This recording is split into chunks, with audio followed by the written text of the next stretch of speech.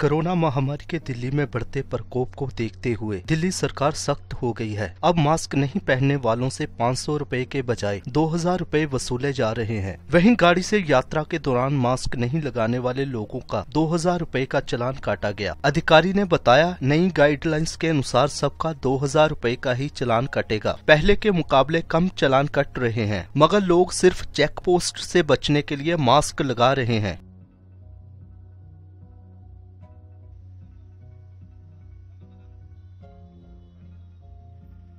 चालान जो है दो हज़ार रुपये का है। अगर किसी भी बस में किसी ने भी मास्क नहीं लगा रखा है कोई भी सवारी हो बस हो बस ड्राइवर हो या कंडक्टर हो तो उसका चालान दो हज़ार रुपये का ही कटता है। हमारे पास गाइडलाइन आ गई है नोटिफिकेशन आ गया है जिसके अकॉर्डिंग अब हम दो हज़ार का ही चालान करेंगे। सिर्फ़ किसी का भी हो सकता है वो पैसेंजर का भी हो सकता है बस ड्राइवर का हो सकता है कंडक्टर का हो सकता है कोई भी हो सकता है। सुबह से लगभग चार पाँच लोगों का चालान कट चुका है और इसके अलावा जो है जब पाँच सौ रुपये का था तो चालान की संख्या ज़्यादा होती थी।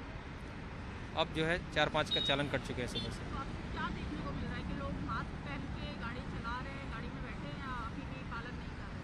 हैं नहीं देखने के लिए मैडम ज़्यादातर लोग जो है मास्क को अवॉइड कर रहे हैं। जब हमें वो देख रहे हैं तभी वो मास्क लगा ले रहे हैं कि सामने मास्क लगा लें और बच के निकल जाए। जैसे उनको जो है सिर्फ़ बचने के लिए मास्क लगाना है।